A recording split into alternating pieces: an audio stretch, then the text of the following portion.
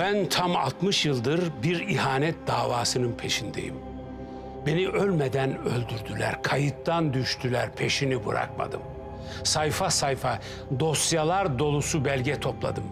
Adaletin kapısından sokmadılar, yılmadım. Ölümle tehdit ettiler, korkmadım.